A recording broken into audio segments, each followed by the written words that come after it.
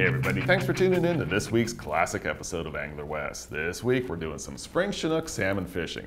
First with guide Dave Steele on the Willamette River, and then we're going to head upstream up the Columbia to the mouth of the Wind River with Cameron Black. Now first with Dave, we're rolling herring, the good old green label cut plug herring, which works great, but this year there aren't any green label herring available, or very few.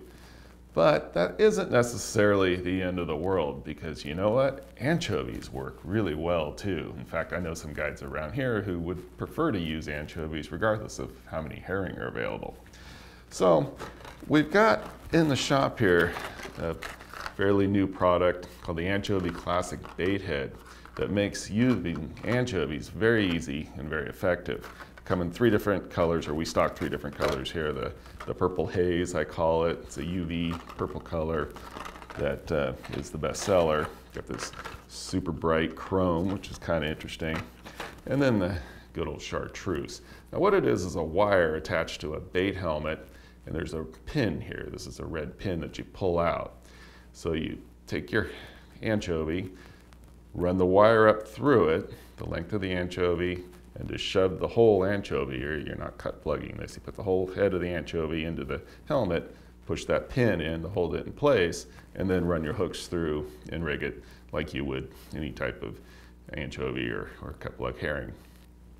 And the helmet here not only gives good visibility, but it's going to give it a twist. It's going to give that roll that you want. And you can bend this wire to make that roll either more severe or less severe, depending on how you want to fish it. So it's adjustable. Or you can just leave it straight. I know a guy came in here the other day saying he caught some fish on anchovies using these and he just left the wire straight. So it's versatile. You can fish it any way you want. Now, after we're done on the Willamette, we're going to go up to the Wind River, the mouth of the Wind River with, with Cameron, and he's going to show you how he rigs his uh, prawn spinners.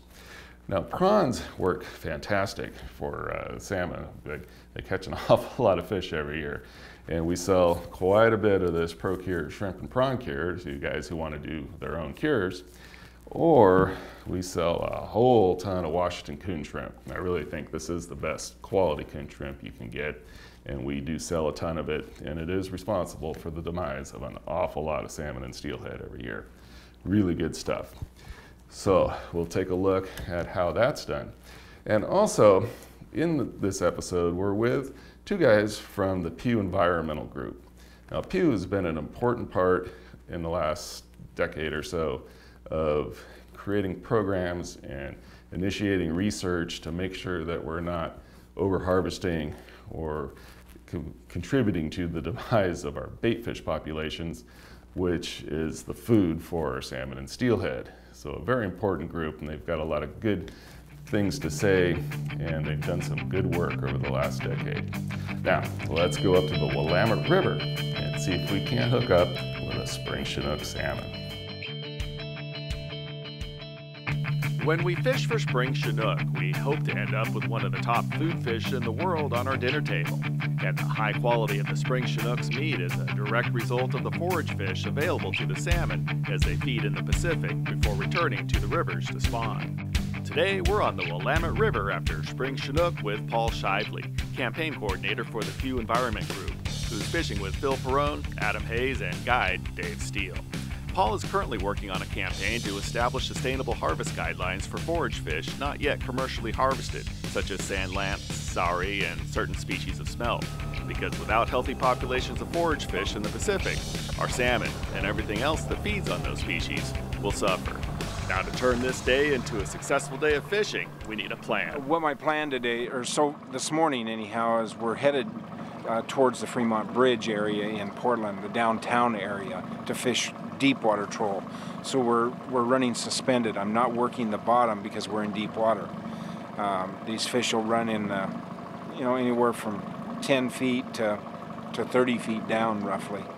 So I'm right now we're working about the 20 foot area, 20, 25 foot area in depth. Keep your line tight and yep. let us get our line tight. know where you're at. Come over you. Come under me. Come under me. A fish on! Coming up in a hurry.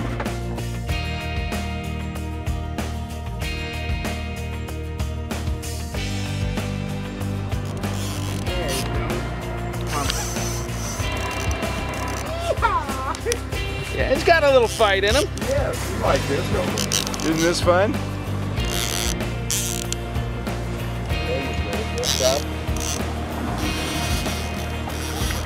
There he comes. Oh!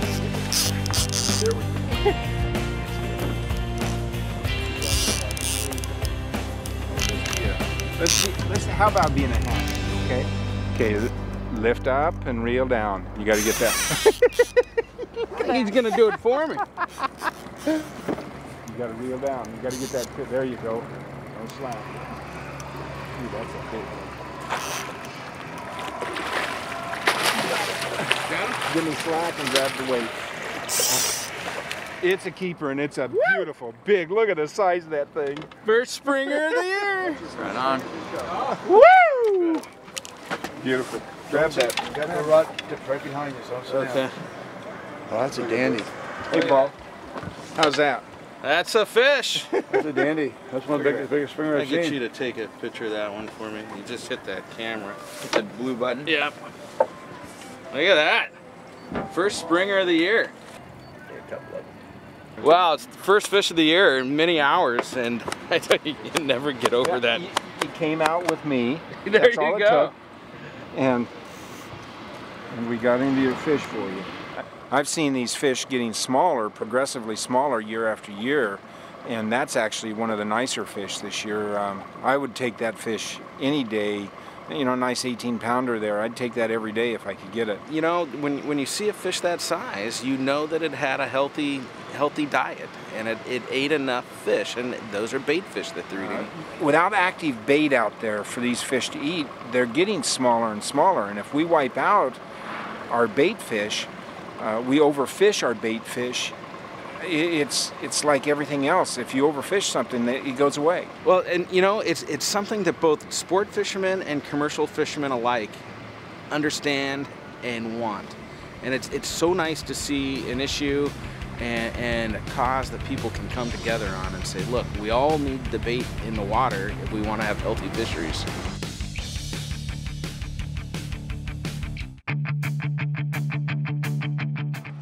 Welcome back to the Willamette River. I'm Justin Wolf. Paul Shively from the Pew Environment Group has hooked up with the first springer of the day using herring for bait, which is one of the species of forage fish that the Pew Environment Group is working to conserve. Okay, that fish hit a natural bait. They're all brined. I've got a special brine that I put together involving some Procure bait scents. And uh, uh, what I'm doing is is rigging the, I'm doing plug cut herring, and now I'm putting my rigging together. And I also run on this particular rig. I was running a scent chamber. Scent chamber is put out by Oregon Tackle, and uh, you can add any type of scent in here you want. Procure's got multiple scents you can see as an example what I'm doing here. This happens to be Anise Plus. And shake it up and I can add this right into here. See how that scent chamber is filling up? There it is. So, and that's what that fish just hit. We just, Paul just caught that nice, about 18, 19 pounder off of that, that rigging right there. So, Paul, what is it that you do? I work for the Pew Environment Group on our Pacific Fish Conservation Program, and essentially what that is is it's it's all about the bait fish, um, as we like to say to fishermen and to commercial and sport fishermen alike. Our role is to, and our our mission is to both suspend any new fisheries on currently unfished species, and I always like to stress that unfished species. These are, are species of forage fish that nobody's out fishing right now, and we also want to limit any expansion on the currently harvested fish like sardines, uh, and, and just with the understanding that that in order to have a healthy ocean, whether the predator species like salmon that we're going after today, albacore tuna, lingcod, or seabirds and marine mammals, they all need the food in the ocean. And, uh, you know, as there's this increasing demand to take this food out, for aquaculture, chicken food, hog farms. Uh, we realize there's got to be a precautionary approach, or, or the fish that we all like to catch are going to suffer for that. Well, we know there's certain species that we commercially harvest, like herring and sardines, and of course, you know, with the, the food being like sardine being declared such a healthy food fish, uh, where do you set your limits? So when do, when do they over over harvest to the point where like we've seen our herring stocks collapse, and a lot of that's been from taking all the spawning herring to make herring roe to go over to Asia. So where do where do you with the existing limits, I understand what you're trying to control those, but also there's a lot of bait fish, like we're catching lingcod, and they're coughing up sand lance. Uh, lingcod can have up to 90% of its diet be sand lance. And so what do you say is a limit on that? Well, there's a one of the, the most compelling studies that just recently came out, and it's got this crazy name called the Lenfest Forage Fish Task Force Report. But it, it makes a very strong point that if a fish is data poor, or we just don't know enough about it, well then we shouldn't fish it. Uh, leave it in the water until we know, until we can prove that it can be fished at a sustainable level that won't harm uh, the diets of these predator species or the marine mammals that, that we're out, uh, uh, whether it's out looking at through a binocular or trying to catch with our rods. We've seen the return of our, our smelt just collapse. Yeah. I mean, the Northwest Rivers, it used to be uh, a festival when the smelt would come in, and now you're, you're limited if you have a season at all to dip smelt. I mean, it's almost non-existent. So did, did we overharvest these smelt in the ocean? I mean, what happened to them? Where did they go? The Smelt's a great question, and, and one of the areas with smelt is with all these forage fish, they're very affected by natural conditions in the ocean. And then when you add on top of that bycatch, other issues, you know, it becomes a, it really does become a big question mark on just where the smelt went. You don't need to go past the tribes and hear them talk about the amount of smelt they used to catch in their traditional fisheries and now how it's almost non-existent. And there are no good answers at this point where that went. Some suspect it's natural ocean conditions. Others think it could be bycatch that's not being paid attention to uh, in the harvest of other fish. The bottom line is it, it, it makes that point that we've got to pay attention to these forage fish if we're going to have healthy fisheries. After this break, we're heading to the Columbia River Gorge near the mouth of the Wind River for more spring Chinook with guide Cameron Black and Steve Marks for the Pew Environment Group.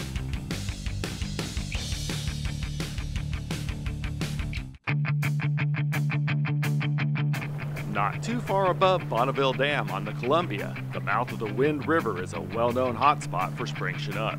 Today, Steve Marks from the Pew Environment Group is fishing with guide Cameron Black, who understands the particular characteristics of this fishery. Uh, with Wind River, you do not want to uh, troll on the bottom like in the sands of the Columbia, like uh, you know below Bonneville.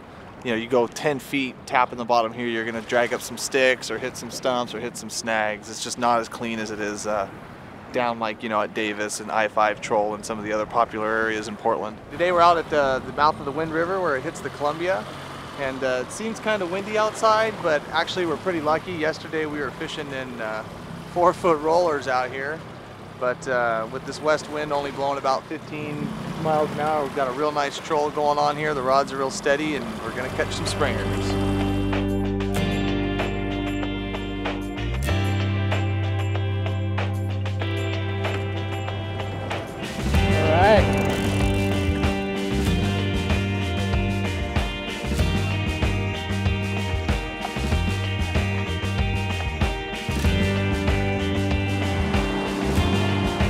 There you go. Once he slows down, then get on him.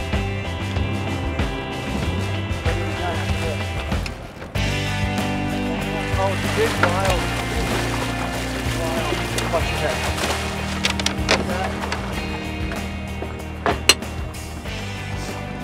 Looks like we got a nice wild spring chinook here. Right there. Tilt this net up, Nick. Can't move him out of the water.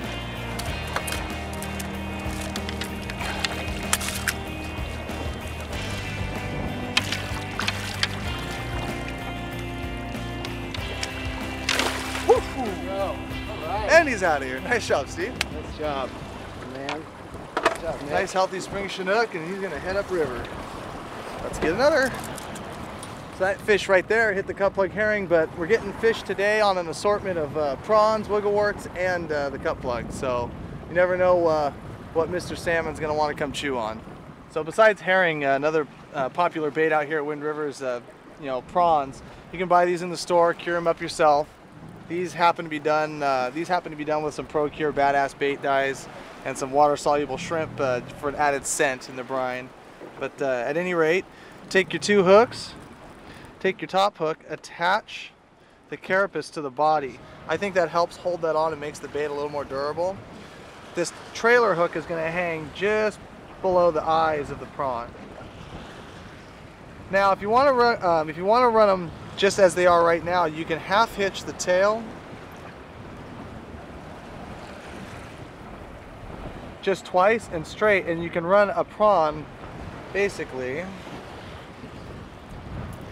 like this, just completely balled up, or you can straighten the tail out like so and add a bunch of half hitches almost like you do a smelt when you're sturgeon fishing or any other kind of like eggs or however you want to do it. Half hitch up to the tail. Once you get to the tail kind of give it a final good pinch. Drop your beads down run your favorite blades pinks silvers golds green and yellow obviously all the standby colors for salmon that one right there will fish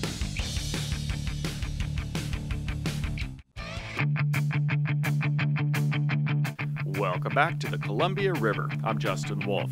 Steve Marks, Senior Associate for the Pew Environment Group's Pacific Fish Conservation Program, has caught and released a beautiful wild Chinook that is an example of the type of fish that the Pew Environment Group is working to enhance. Looks like we got a nice wild spring Chinook here. But it didn't take long for Steve to hook up with a big hatchery fish, which we can legally take home for the barbecue.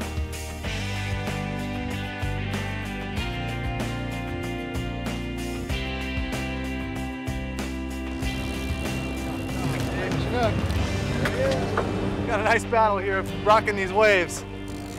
How go, Steve? Reel down, reel down, reel down. Yep, yep. Reel down, reel down. Lower the rods. Yep, yep, yep.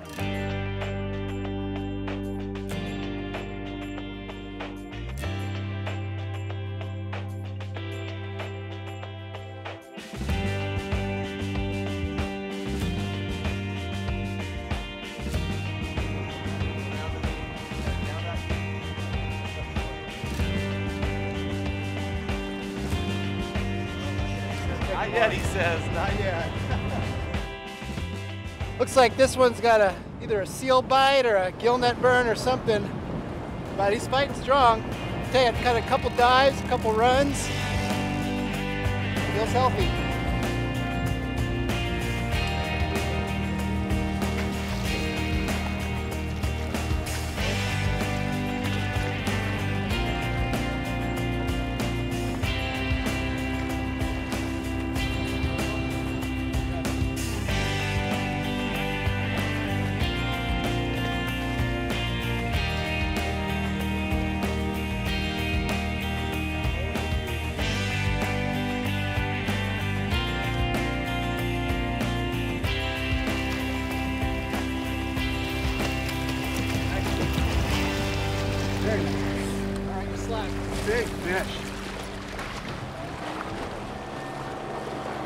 Guy just eyed us out. Nice job, Nick.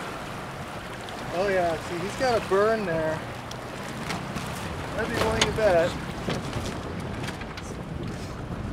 He's been burned there by a gill net. You can see the nice clean lines there. Well, he escaped, but didn't escape our prawn. Nice job, Steve. Good job, bud. Nice fish, Steve. Nice one, bud. Great fish. Let you grab it there. Nice, healthy Columbia River spring Chinook. Been eating a lot of forage fish out in the ocean, I'm sure.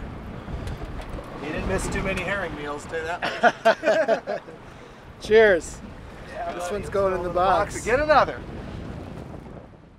We had a great day and a lot of fun today, um, springer fishing on the Columbia out here by the Wind River. Um, you know, here in the Northwest, salmon are a way of life, part of our culture. We love to chase after them in the ocean, chase after them in the river, and we love to eat them. You know, we've been spending billions of dollars on habitat work here uh, on land and water, water and river management on the Columbia. Um, but it's also important that we uh, keep an eye on what's going on out in the ocean because that's where salmon spend most of their lives. And one of the most important things that uh, decision makers can do is make sure that salmon have enough to eat when they're out in the ocean. And particularly in big river systems like the Columbia here where we have salmon coming you know, out from the middle of the Pacific and traveling, you know, more than a thousand miles up into Idaho and all the tributaries along the Columbia.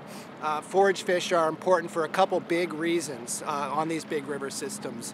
One, uh, when, when juvenile salmon, when smolts uh, are, are entering the ocean, they time their entry into the ocean at, for periods of high forage abundance. They, they school up with anchovies or they school up with sardines or, or, other, or other types of smelt, other types of forage fish, and that offers them cover. It offers them camouflage essentially from the gauntlet of predators that they face, whether it's cormorants uh, munching on uh, forage fish and salmon smolts or um, ground fish out there like hake who are just waiting for uh, these, the, you know, these salmon to kind of come out of the Columbia uh, and, and enter the ocean and become food for everything. Um, you know, forage fish provide that camouflage for these juvenile salmon, many of whom are, um, you know, on the endangered species list. So, so it helps them, it, it gives them a better chance of making it past that gauntlet of predators when they're juveniles. And then, as salmon mature and they grow old and get big and fat out in the ocean, they depend on abundant populations of forage fish. If you like salmon, if you like to go salmon fishing, if you like to eat salmon, you know, it's, it's important that you keep, uh, keep your eye on what's going on here in the Columbia River, what's going on in the, in the habitat that, fit, that fish and like salmon need on, on the inland, but it's also important that you uh, keep track of what's going on out in the ocean, making sure that our decision makers who are in charge of managing our fisheries, who are in charge of maintaining healthy ecosystems off our west coast, are doing everything they can to make sure that that food supply that's so critical for species like salmon, for species like tuna and other species of groundfish that we do that that uh, you know support healthy fisheries and help support coastal communities. You know, it's important that those decision makers are doing what they can to make sure that that food base out there remains intact and remains healthy, so that we can come out here on beautiful days like this and fish for springers on the on the Columbia and, and take a chunk home and throw it on the grill. Um, you know, it's a, it's a, cycle of life, and it's important that we keep track of, again, stuff that's going on here on land and make sure that uh, we're doing what we can out in the ocean to make sure that that food base uh, stays intact and healthy. Production of this episode was made possible with the support of the Pew Charitable Trust.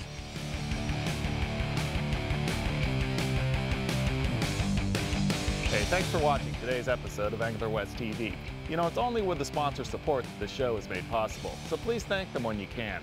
Now get out there and do some great fishing.